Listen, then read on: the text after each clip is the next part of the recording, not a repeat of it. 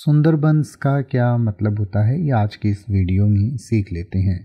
सुंदरबन जो है वो एक जगह का नाम है, यानी कि सुंदरबन जो है बंगाल की खाड़ी में गंगा, ब्रह्मपुत्र और मेघना नदियों के संगम से बनने वाले